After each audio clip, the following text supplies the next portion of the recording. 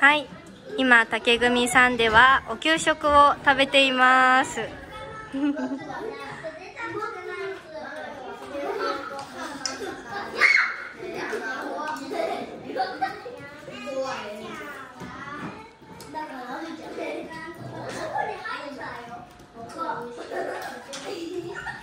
年長さんではほとんどの子がお箸を使って上手に食べていますはい。本当？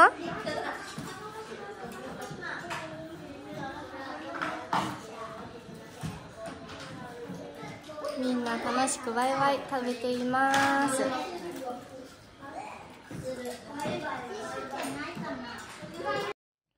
最後までご視聴いただきありがとうございました。もしよろしければ動画への高評価、そしてチャンネル登録よろしくお願いします。